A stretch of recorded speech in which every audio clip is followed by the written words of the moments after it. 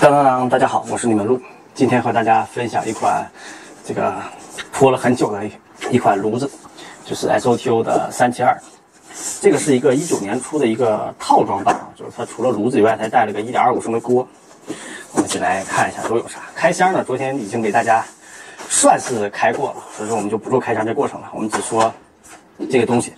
我们先挑简单的，就这个锅，这是个典型的一个呃铝合金的一个锅，就是一个铝锅，然后带那个硬化涂层，很有意思啊。它这个不带那个把手，但是呢，它带了一个小配件儿。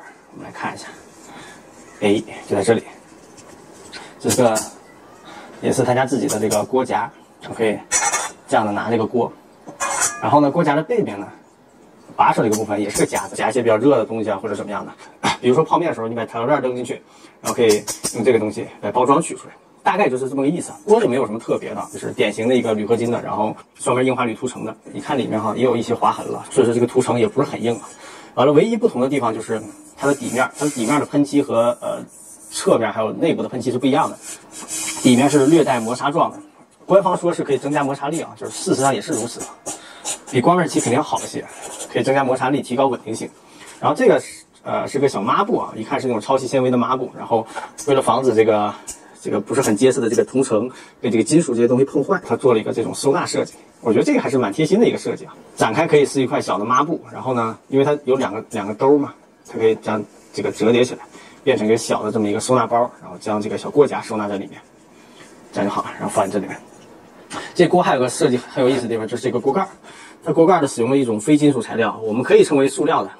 官方给它了定义很多功能，别看就两面，然后首先这面看到这两个这个刻度没有，它是可以放这个气罐的，就把气罐放在这个上面，因为如果你有不不平的地方或者怎么样的，可以增加一个就是稳定性嘛。然后还有就是翻过来的话，这边可以当成一个切菜板去用，包装上是这么写的，来一个很大的包装，包装是这么写的，可以当成这个呃切菜板去用，但是我觉得应该哎也不是什么好用。啊，这边是带了一个滤水设计，就是当你想吃半方便面的时候，你可以把水倒掉。然后我们不得不佩服这种呃优秀品牌的设计啊，确实很多点还是蛮人性的。包括这个袋子也很特别啊，它使了一种像那种纸一样的材料，具体材料我没有去查，实在是没有什么太大的核心作用啊，除了好看和收纳以外，重点我们还是要说炉子嘛，对。它是这款万用炉，其实也不能说是万用炉啊，就是只不过是比较常见的燃料，它都可以用。可以使用，这是个油泵，可以配合油壶去使用呃燃油作为燃料。这是炉头，它还有一个小的一个小的东西，这是呃气罐的接口，就是说它可以除了用燃油以外，它还可以用这种扁罐作为燃料。不能称为万用炉，我觉得最多算是多用炉吧。当然，如果说你有转接头的话，也可以转接长罐，也是可以用的。燃油呢，呃，官方说可以使用官方指定的燃料，叫白电油，也可以使用汽油啊，就是九十二号以上的汽油都可以用。但是使用汽油，呃，带来问题就是就是这个维护的问题啊，还比较麻烦。在他老家日本，他是可以有能买到就是一升装那种专用的燃料，就是白电油。在国内呢，对这种易燃品管理比较严格，所以说很少很难能买到那种呃燃料。所以很多小伙伴就会用汽油。有人选择油炉的一个原因，就是因为它燃料比较容易获得。但是以现在情况来看，可能。呃，不如以前了，因为比较正规的加油站是不允许你去使用散装汽油的，所以获取这种燃料的渠道就没有我们之前那么容易了。当然说可以从摩托车或者汽车的这个油箱处啊获取一部分的汽油，呃，作为燃料用是可以的。摩托车比较简单啊，就是很多摩托车是没有防盗网的。是没有滤网的，直接从加口就可以取油。但是呢，汽车就不行，特别是家用车，它的那个呃油箱是不可能直接取油的，因为它是带有滤网和防盗的，所以说你是没有办法把管子插进去的。呃，当然也有其很多方法，这个我们呃有机会再说。除了汽油以外啊，它还可以使用比汽油贵的这个溶剂油，呃作为燃料。当然这种东西属于一种化工产品啊，也不是特别容易买。比如说你像有些商店是可以买到的，比如说有些呃做油漆的，或者是做那个五金的。呃，或者做电子产品的商店是可以买到的。呃，溶剂油的好处就是它燃烧更清洁，但它成本比较高啊，价格是汽油的一倍。不管怎么样，油炉的使用成本也是要比汽炉低很多的。这个呃炉子是收纳状态，我们可以先将它掰开，轻轻一掰，然后它会有个机关在这里，会咔嗒一声进入一个锁定状态，啊，就锁定了。然后边上这个这个垫脚是我自己后加上去的，我觉得可能能起到一个防滑的一个作用吧。这样的，这个炉子有几个特点啊，首先它的这个喷口啊。官方说一共有三百个喷口，喷口，而且它是向下弧度的，配合边这个圈儿，能起到一定的防风效果。据说还进行了静音设计啊，就是燃烧的声音不会那么大。收纳方式很有意思啊，你只要轻轻向上一推，然后就可以顺序的这么将它往上推啊，就可以折叠起来。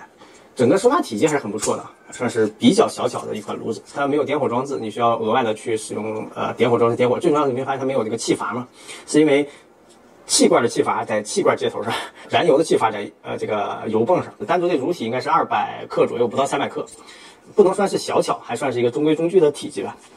然后我们说一下这个气罐的支架，它是可以展开的。展开之后呢，是这样一个情况，它实际上是气罐是可以倒置的。就是这么放在上面，当然说你可以，你可以正着放也是没有问题的。然后我发现很有意思的一件事啊，就这个看，在这个呃气这个管路的接头上是有一个保护保护装置的，就可以保护这个呃小的这个东西不进入一些脏东西啊，或者是防止一些磕碰啊或者什么产生。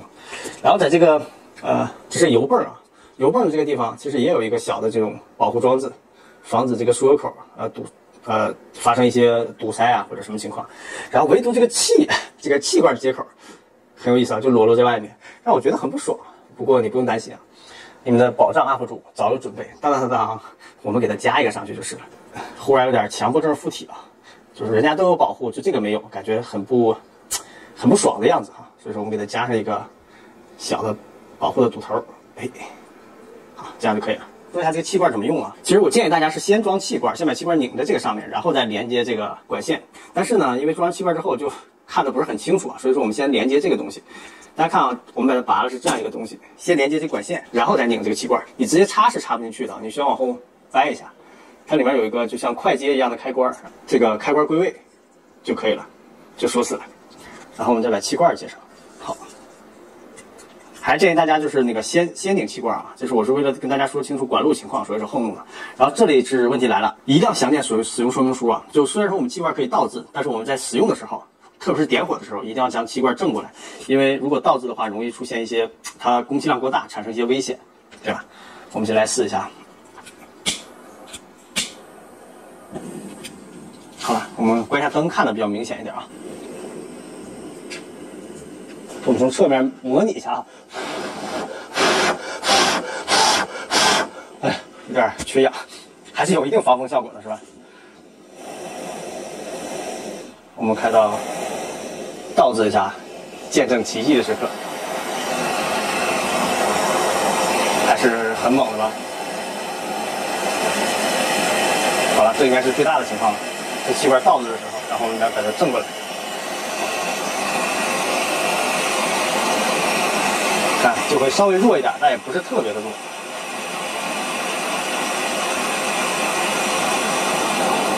小一点。好，这样我们再把它倒过来，是吧？咦，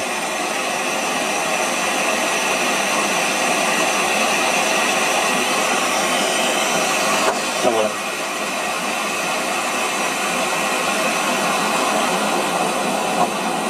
官方说，在呃，它的最大功率是三千五百瓦，在最大功率的时候，它的这一罐气儿可以使用呃，这个二百三十克的气儿可以使用零点八小时，也就是四十四十八分钟，整体还是很好的哈，可以使用四十八分钟。好，我们将它关了，我们来试一下这个油。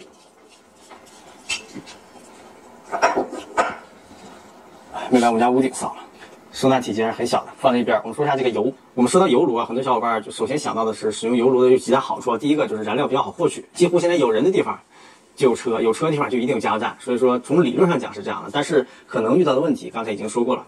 第二个说它呃这个使用比较经济啊，为什么这么说？我给大家简单计算一下。刚才我们已经说了，刚才那个在使用气在使用这种扁罐的时候。它使用二百三十克的气罐，呃，可以使用零点八个小时，也就是四十八分钟。而在使用燃油作为燃料的时候，这个这个虽然是个七百毫升的瓶子，但是最高只能装这个四百八十毫升的燃料。四百八十毫升的燃油可以使用一点六个小时，也就是一小时四十分钟。那么也就相当于一升燃油可以连续使用三个小时。即使我们用比燃油贵一倍的这个溶剂油，平均一小时的使用成本也就四块钱左右。而如果使用汽油的话，可能每小时的使用成本不到两块钱。所以说。这是比气罐要便宜很多了。为什么这个七百毫升的这个油罐只能装四百八十升的油呢？因为大家看一下它油封设计啊，这上面说明，它要求是这个要高于水平面，什么叫高于水平面？这个油啊是不能不能超过，不能超过这根管的，不能超过这根管的，和长罐那个要求很像啊，就是它这它一定是有个这个出气孔，一定要露在这个液面以外的。所以说，如果你装满了，那这个被堵上了，那肯定是没法正常使用的。七百毫升的油罐最多只能装四百八十毫升的燃料，看这上面是有标记的，也就是说你装油是不能超过这个标记的。然后它使用一千毫升的罐儿，实际上它能装七百二十毫升的这个呃燃油，也是装到这儿的，因为要求它放倒之后，这个上面是有一定的空间的，不能全部装满。我们拿这个做一个示范吧。这里面现在是有呃有燃料的，就是我使用的是呃溶剂油，然后将它装进去。嘿，它这个呃油泵的这个设计还是很精密的，所有的开关都在这个上面。大家看这里面有几个开关啊？一会儿跟大家说一下这个使用方法。这是开关，可以拉出来，拉出之后才可以正常调节它的各种状态。然后扣上之后就处在一种锁定状态，无论是使用还是运输的时候，就一定要处在一种这种锁定的状态。这上面有说明，虽然是日文的。然后这个就简单了，就是往里打气儿的东西。然后这个地方，这个地方是一个就接管线的地方，一拔，然后把这个拔出来。然后这个是个支架，你在用的时候就是要处在这种状态，这样才可以使用。这个是个压力，呃。怎么说呢？这个是一个压力指示啊，就这儿。一会儿我们先打打压，它这里面压力够了之后，这个就会凸出来，会有个红线，打到红线这儿就可以了。这个油炉还有个问题啊，就是比较费人，是你需要往里打气儿。当然不不一定一次打满啊，因为它中途是可以加压的。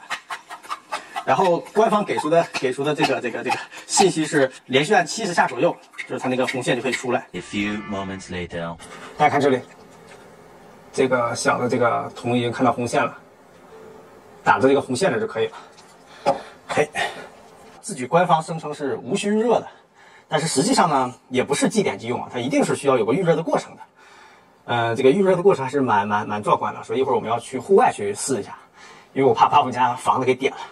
现在是在户外来组装一下这个炉子，因为真的很壮观啊。首先还是这个，我们要把它这个铜的这个东西往后一掰，然后把这个堵拿下来。这样，然后这个也是，好，这样就可以了。我们看一下它的控制开关，控制开关，我们先把它拔出来，拔到这样的状态，然后一个档、两个档、三个档、四个档，这档就是默认的是关闭的。然后我们要先开到这个档，开到第二档之后就可以点燃这个气炉了。但是呢，这时候还不能正常使用，你要等到火焰稳定之后变成蓝色的时候，再调到这一档，第三个档。第三个档就可以正常使用了，然后可以调整火力的大小。然后这边这个档呢是泄压档，就是当我们使用完之后，这个红的这个这个这个小的这个压力指示还没有完全复位的话，或者是里面还存在压力的话，会导致其实你这个呃扭是扭不开的，而且即使扭开会容易产生一些液体飞溅，非常危险。所以说我们使用完之后要把它扭在这个泄压档上，在任何档位情况下，你可以快速哎摁回去，这就相当于一个紧急停止按钮，摁回去之后它的这个输出就会被立刻停止。这样遇到一些紧急情况的时候，我们可以起到一个很好的一个紧紧急关闭的一个作用。一会儿我们来看一下为什么要出来玩啊？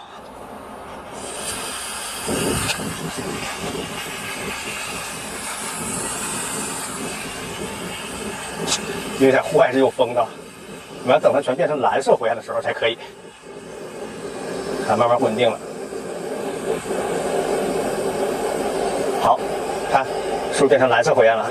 这样才可以正常使用。然后我们要调到下一个档，好，在这档位上就可以正常使用了。在白天的话，你这个火焰几乎是看不到的，你只能看到很小很小的小火苗。然后我们这可以调整火力的大小，可以小一点。现在有风了，大家可以看到这个火苗，可以看到这里面官方说的三百个小火苗，是很有意思的。我们是可以拉近看一看这三百个小火苗，还是挺萌的。现在其实外面风还是蛮大的，证明它这个这个防风设计还是起到一定效果。我们试一试。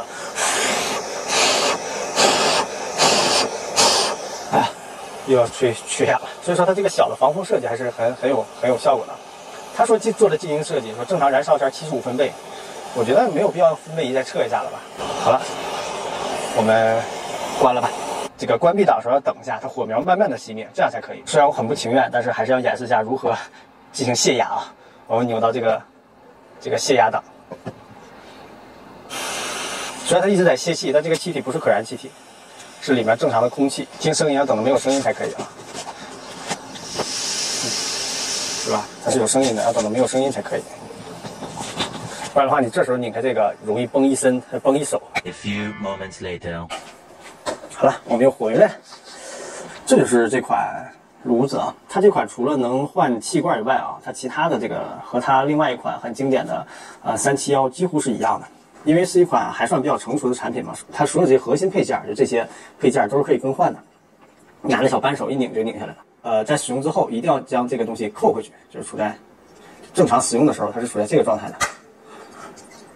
就是我们在运输或者是非使用状态，一定记得把它摁回去。你这个不摁回去的话，说明书上说有可能产生漏液啊，所以说用完之后一定要将它就是摁回去。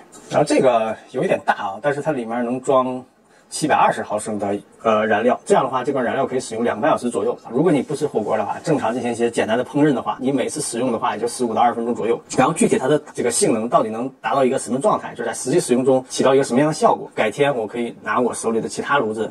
呃，接近于它的功率的，进行简单对比也好，或者一个计时的测试也好。好了，那我们今天的视频就到这儿。如果喜欢我们视频，小伙伴记得积极的点赞关注。如果你对哪些话题感兴趣，一定要留言给我，说不定下期就是你想要的呢。我是你们的鹿，耶！我们家猫在爬树，但它现在很胖，爬树爬的很费劲，我要先去救它。